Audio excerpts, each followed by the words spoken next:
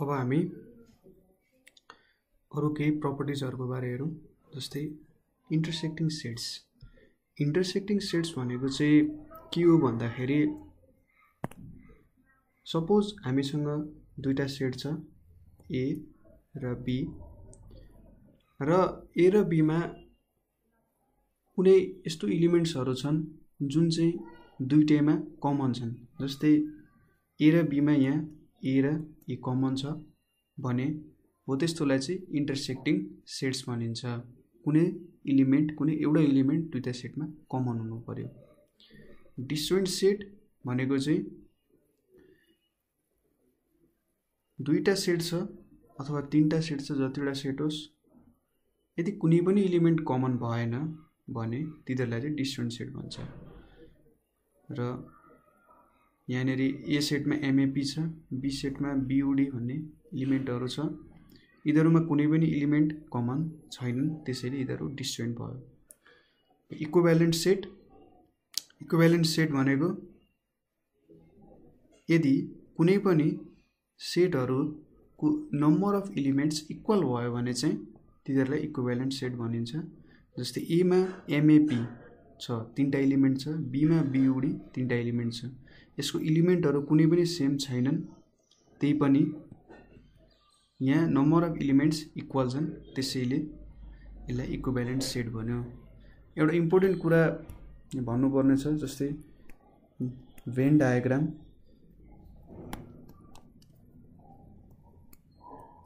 Venn diagram Venn diagram भनेको चाहिँ एउटा पिक्टोरियल रिप्रेजेन्टेसन अफ सेट्सहरू हो जसमा चाहिँ सर्कलहरूले कुनै एउटा स्पेसिफिक सेट रिप्रेजेन्ट गर्छ जस्तै यसले ए रिप्रेजेन्ट गरौँ यसले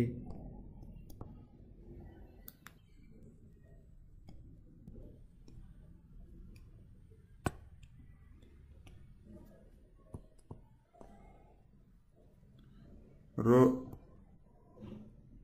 यो एउटा बक्सा हुन्छ। यसले चाहिँ युनिभर्सल सेट डिफाइन गर्छ र यो बक्सभित्र चाहिँ अरू सेटहरू हुन्छन्। अब यसरी बुझ्दाखेरि इन्टरसेक्टिङ सेट कस्तो हुन्छ त भन्दाखेरि सपोज यो सेट ए भयो यो सेट बी भयो। यहाँनिर दुइटै सेटमा ए कमन छ यहाँनिर एमपी छ यहाँ पिडी छ। यसरी इन्टरसेक्सन भयो भनेपछि यो यसरी इन्टरसेक्सनलाई जनाउन सकिन्छ। डिस्वेन्ट भनेपछि कुनै पनि इलिमेन्ट कमन छैन दुइटामा भने यो ए भयो यो बी भयो यहाँ एम ए पी छ यहाँ बी यु डी छ। कुनै पनि इलिमेन्ट कमन छैन छुट्टा छुट्टै सर्कल भयो। अब हामीले हेर्ने अर्को कुरा भनेको सेट अपरेसन्सहरू मेनली सेटमा चारवटा अपरेसन हुने गर्छ। Union intersection difference symmetric difference cardinal number of sets union भनेको चाहिँ के हो भन्दाखेरि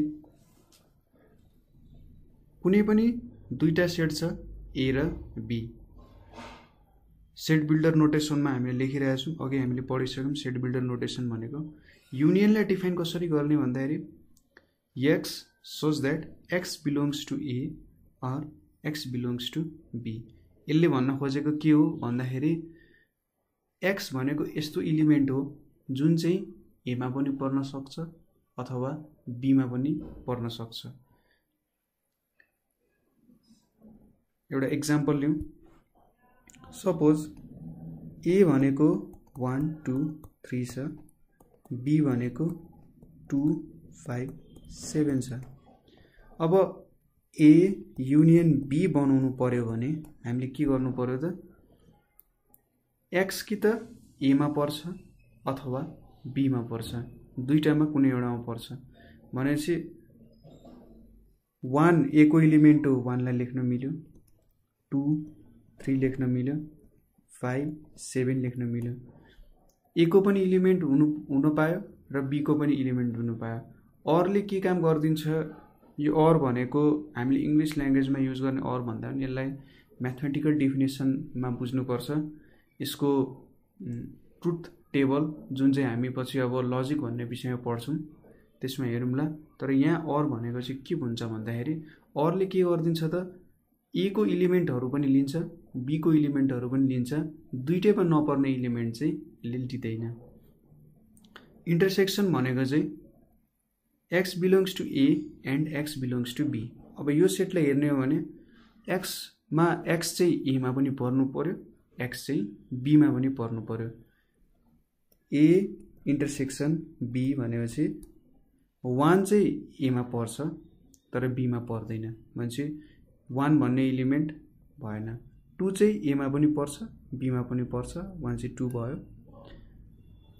थ्री एमा पर्छ बीमा पर्दैन फाइभ बीमा पर्छ एमा पर्दैन सेभेन ए बीमा पर्छ एमा पर्दैन। यसको इन्टरसेक्सन टू मात्रै हुने भयो डिफ्रेन्स डिफ्रेन्स भनेपछि के हुने हो भन्दाखेरि एमा मात्रै पर्ने तर बीमा नपर्ने इलिमेन्टहरू जुन चाहिँ एमा मात्रै पर्छ तर बीमा पर्दैन। यही इक्जाम्पललाई लिने हो भने ए माइनस बी भनेको चाहिँ वान एमा पर्छ बीमा पर्दैन। त्यसरी टु एमा पर्छ बीमा पर्छ यो लिन पाइएन। थ्री एमा पर्छ बीमा पर्दैन। त्यसैले वान र थ्री हुने भयो यदि हामीले बी माइनस ए गर्ने हो भने यसले के भन्छ? बीमा पर्ने इलिमेन्ट तर एमा नपर्ने। टु बीमा पनि पर्छ एमा पनि पर्छ यो भएन। फाइभ बीमा मात्रै पर्छ र सेभेन बीमा मात्रै पर्छ। सिमेट्रिक डिफ्रेन्स सिमेट्रिक डिफ्रेन्स भनेको चाहिँ कस्तो भन्दाखेरि सपोज डिफ्रेन्स हामीले के गर्यौँ डिफ्रेन्स भनेको ए माइनस बी भन्यो भने एमा मात्रै पर्ने इलिमेन्ट बीमा नपर्ने र बी माइनस ए भनेको बीमा मात्रै पर्ने एमा नपर्ने। अब हामीले ए माइनस बी र बी माइनस एको युनियन गरिदिउँ भने त्यसलाई चाहिँ सिमेट्रिक डिफ्रेन्स भन्छ। भनेपछि हाम्रो अनुसार A minus B union B minus A भनेपछि वान थ्री फाइभ सेभेन पर्ने भयो सिमेट्रिक डिफ्रेन्समा यसको अहिले एउटा एकदम जेनरल इक्जाम्पलले सबैलाई कभर गर्ने गरी एउटा कुरा बुझ्नुपर्छ। एकछिनमा गरौँला कार्डिनल नम्बर अफ सेट्स भनेको चाहिँ के हो भन्दाखेरि कुनै पनि सेटमा टोटल नम्बर अफ एलिमेन्ट्स कतिवटा छ त भन्ने कुरा चाहिँ कार्डिनल भन्छ र त्यो प्रपर्टीलाई चाहिँ कार्डिनालिटी भन्छ। यसलाई ओए अथवा एनएले डिनोट गर्न सकिन्छ। र हामीलाई कुनै पनि प्रब्लम गर्दाखेरि यो चारवटा कुराहरू चाहिँ त्यो प्रब्लममा इन्क्लुडेड हुनसक्छ। यो चारवटा कुराहरू सेट्सको प्रब्लमहरू सल्भ गर्दाखेरि यो चारवटा कुराहरू आउँछ। अपरेसनहरू हेरौँ। For any sets A B and C n A union B भनेको n A plus n B minus n A intersection B n A union B भनेको n A plus n B पनि हुन्छ जब इन्टरसेक्सन हुँदैन सेट्सहरू डिसवेन्ड हुन्छ। N A union B union C भनेको n A plus n B plus n C minus n A intersection B n B intersection C minus n C intersection A plus n A intersection B intersection C n A minus B भनेको n A एमा पर्ने र A intersection बीले के दियो त? दुइटाको common कुरालाई minus गरिदियो र एमा मात्रै पर्ने। यो इलिमेन्टहरू थियो। एन नट ए भनेको चाहिँ के भयो भन्दाखेरि जोस् यो चाहिँ एउटा डिफ्रेन्स ए माइनस बीलाई नोटेसन गर्नु पऱ्यो भने एन नट एले पनि डिफ गर्न सकिन्छ। ल एउटा इक्जाम्पल लिउँ। सपोज ए भनेको one two six eight ten भन्ने छ। बी भनेको हाम्रो two five eight nine eleven भन्ने छ। र सी भनेको हाम्रो six three five thirteen ten ten यो छ। अब यसलाई हामी भेन डायग्रामको नोटेसनमा बनाउँ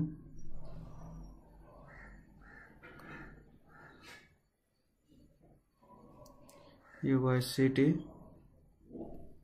यो भयो सेट बी यो भयो सेट सी यसलाई नाम दिउँ। ए बी सी यहाँनिर युनिभर्सल सेट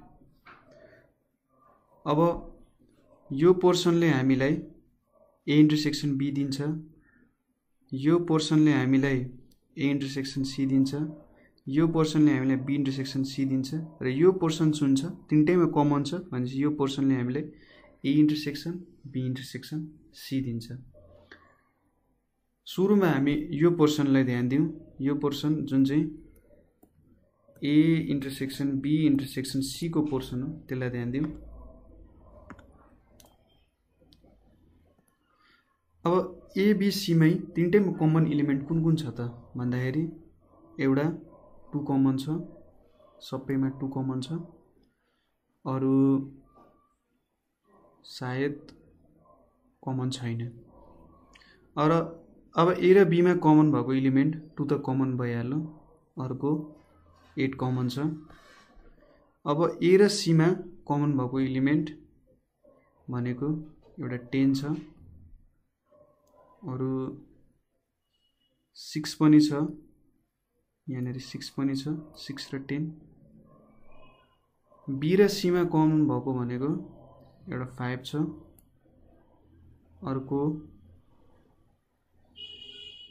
फाइभ भयो। अर्को कुनै पनि कमन छैन। अब त्यसो भए यहाँनिर वान वान हुने भयो। बीमा यहाँ नाइन र इलेभेन बच्ने भयो। सीमा।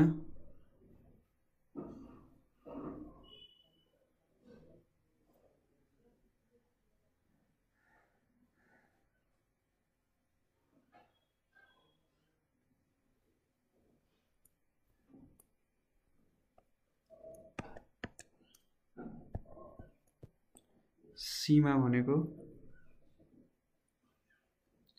थ्री र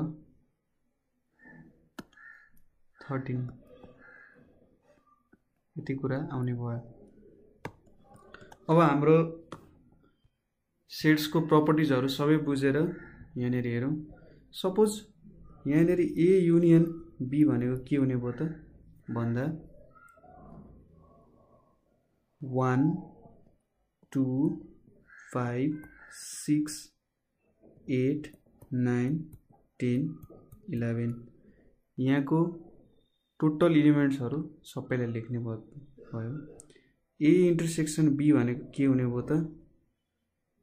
टु र एट हुने भयो। ए माइनस बी भनेको एमा मात्रै पर्ने बीमा नपर्ने भनेपछि वान सिक्स टेन हुने भयो। अब बी माइनस ए भनेको बीमा मात्रै पर्ने एमा नपर्ने भनेको नाइन इलेभेन फाइभ हुने भयो। अब यसको सिमेट्रिक डिफ्रेन्स भनेको A minus B union B minus A भनेको चाहिँ one six five nine ten eleven हुन गयो। अब यसमा कार्डिनालिटीको कुराहरू हेरौँ। एन ए युनियन बी भनेपछि नम्बर अफ इलिमेन्ट्स गर्नु पऱ्यो एन युनियन बी भनेको सुरुमा हामी सिधै इलिमेन्ट गरौँ र त्यसपछि फर्मुला र त्यो एकचोटि चेक गरौँ। एन युनियन बीमा कतिवटा इलिमेन्ट छ? एउटा दुईवटा तिनवटा चारवटा पाँचवटा छवटा सातवटा आठवटा। आठवटा इलिमेन्ट छ। हाम्रो फर्मुला अनुसार अब यनेमा कतिवटा इलिमेन्ट छ त भन्दा एक दुई तिन चार पाँच। पाँचवटा इलिमेन्ट यनबीमा एक दुई तिन चार पाँच। पाँचवटा इलिमेन्ट पाँच पाँच दस भयो। र minus two. Minus n intersection B पनि छ गर्दाखेरि आठ आउँछ। सेम भ्यालु आयो। यसरी नै यो फर्मुलाहरू प्रयोग गरेर हामी सेटहरूमा विभिन्न अपरेसनहरूको प्रयोग गर्न सक्छौँ। एकचोटि पिक्टोरियल रिप्रेजेन्टेसन पनि देखाउँ। भेन डायग्राममा जस्तै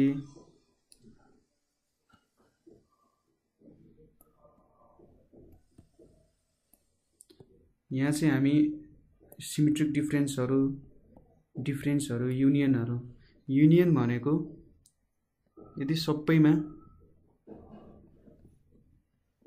पर्ने यो भनेको यो ए भयो यो बी भयो भने यो ई युनियन बी हुन जान्छ। इन्टरसेक्सन भनेको सेम इलिमेन्ट यो भनेको ए इन्टरसेक्सन बी भयो। यति मात्रै गऱ्यो भने यो भनेको एन नट ए भयो। र यदि हामीले यो पोर्सन मात्रै लियौँ यसलाई छोडिदिउँ एकछिन यो पोर्सन मात्रै लियौँ भने यो चाहिँ एन नट बी हुन जान्छ। र यो दुइटालाई सम गरियो भने यसले चाहिँ सिमेट्रिक डिफ्रेन्स दिने गर्छ।